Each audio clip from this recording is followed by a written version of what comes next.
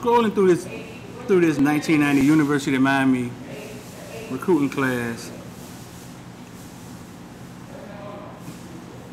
Now memory lane. Bring a tit my eye. but listen, Bryant McKinnie, Clinton Portis, Vernon Carey, Andre Johnson, the Weaver twins, Kevin Beard,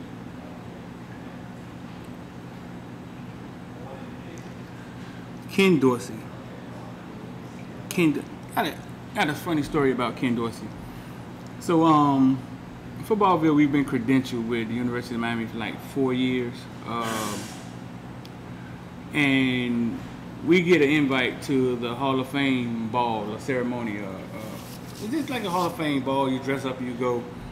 Um, and they induct people into the University of Miami. Or it's, or it's like the day before. They induct people into the University of Miami Hall of Fame. And um, we went one year. Um, we had a girl used to, used to work with us named, um, what was her name? The first girl, wasn't Jenna. Can't remember her name. Whatever. Let's say Katie. Her name was Katie.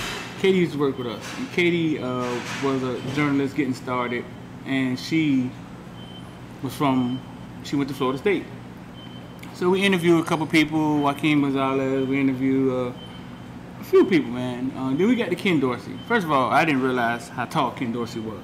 You know what I'm saying? I, he, he said 6'4", man. Then he was like 6'7". We get to Ken Dorsey, and she's excited to interview him. He cool, cool dude. Um, so she starts interviewing him. And then she cracks a joke about, well, I graduated from Florida State. And um, he was talking candidly. Then he, he looks at her and he got serious. And he said, he said, well, I've never lost to Florida State. Um, and she kind of like, she kind of got the look on his face was like, man, don't don't play with me like that. Like with this Florida State trash in a bit of my interview. So he was like, well, I never lost to Florida State. So I mean, that's your problem, basically. He said something like that, and she she kind of blushed it off. And but I was like, man, the still after, you know what I'm saying? He was coaching or something, and still after these things still linger when it comes to this Florida State Miami thing. But I just thought that was pretty funny. Um, right on this on this recruiting class, we got Phillip Buchanon. Phillip Buchanon. Um, story about Phillip Buchanon. 1998, UM had a uh, Nike camp. It's, it's crazy. They had a Nike camp at UM for the recruits. I mean, I'm sure that that doesn't happen anymore. I mean, but 1998 they had a UM camp, and the camp Andre Johnson was a star. Um, I don't think Kevin Beard was there. Clinton Portis was there.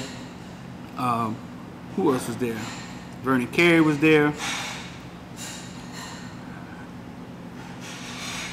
And Phillip Buchanon, who had been hampered by injury, four-star athlete, attended the camp.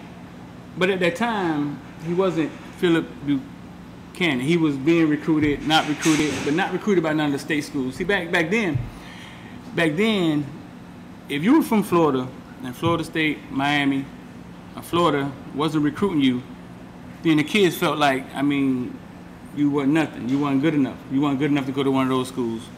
That's how good they were. I mean, if you're watching this and you're under 30 years old, 35 years old, it, kids felt like, man, if you and if you did get an offer from one of them, it's like if you don't go to one of them, then maybe you wasn't good enough. So basically, it's like if you're good enough, you'll stay in Florida.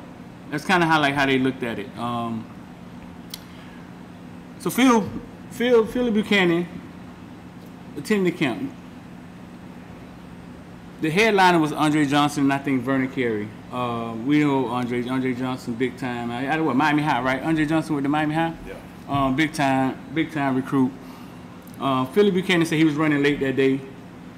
Uh, he was supposed to line up at cornerback, so he got there and he had to work out with the wide receivers. Um, when he got there, he was he was under the radar. Fort Myers, you know what I'm saying? Nobody really know about him. And Butch Butch Davis was actually there. Um, and in this house, this, let me tell you this how the politics of some of this stuff is sometimes. Um, he said when he ran a 40 yard dash, he ran like a 4 3. And the person that clocked him was Billy Rolle. Okay, a little history on Billy Rolle. Billy Rolle, I think, has two state championships. One is when he took over Killian team and they won a state championship. And the other is when he took over that great Miami Northwestern team with Jacory Harris and Darius Johnson.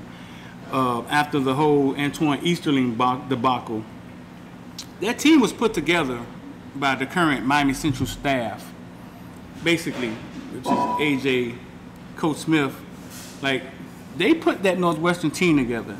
Then the Antwain Easterling rape scandal came about, and they all had to step down and hand the team over to Billy Billy Rolle. Billy Rolle won a national championship with that team. But Billy Rolle was at the camp, was at the camp uh, doing the 40s, and he clocked Phillip Buchanon in the 40 yard dash, like at 4.3, something like that. Phil balled out at that camp and made a name for himself.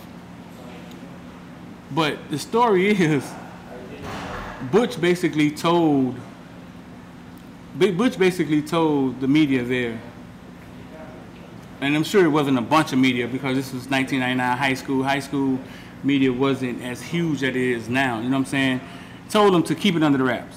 Don't give them no more stars. Don't do anything. Keep it under the wraps. We're gonna keep this one for ourselves. Um, and that's how the politics kind of work sometimes. I, I, mean, it's like give and take. Uh, it's like give and take. So Phil from Fort Myers, who was caught by Billy Rolle, coach of Miami Northwestern, Billy Rolle actually asked Phil family to bring him to Northwestern. And Phillip said he was all, all for it. He, he, he was about to move from Fort Myers to Miami to play for Miami Northwestern, and that would have been the 19, that would have been in 1990, 899 season. Um, which that I think that's the, the Weaver twin team. Uh, that's Trauma Ward. That's that's the second team that they said the, the greatest Miami Northwestern team ever. Um, I'm thinking with, with the Trauma Ward and the Weaver twins and Torrey Cox and all and all of those people. Um, so Phillip Buchanon was almost on that team, but his mama wasn't having it. his mama wasn't having it. She said she wouldn't let her baby leave Fort Myers. Um, and his team, he said his teammates was like, nah, bro, we can't lose, we can't lose you like that. Uh, we, we, we need you. He went back to Fort Myers, got injured, barely even played that year, and, and, that's and that's how that went. Went to Miami and goes down as one of the best cornerbacks to ever play um, at University of Miami. He's actually in the Miami Hall of Fame. Um, but every now and then, man, we're gonna scroll through some of these classes, man, and, and, see some of the greatness and talk about some of the greatness and tell some of these stories. Um, y'all make sure y'all like, share, hit the join button. It's down there somewhere. iPhone level, just go to the description and hit the click the link in the description. I got a join link in the description and we got a subscribe link in the description. Um, members, make sure you check out the community section. That's where all your member love at. Um, we got a GroupMe for the members. Y'all got to get involved. It's all in the member section, the community section. If you don't know where it's at, ask God. Go to Google. Google. Where's the community section on YouTube? God will take you right there. Y'all stay locked in with us, man. Caneville, Footballville, we out.